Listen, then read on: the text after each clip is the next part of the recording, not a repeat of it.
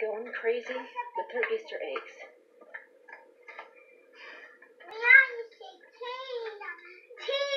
Say hi. Hi. Happy Easter. Happy Easter. I went to the Easter egg hunt today at Dick's. And uh, is this. At Dick's. Okay, that's what he said. What did you get? Uh, penny. Lots of candy? Yeah. Who did you take pictures with today?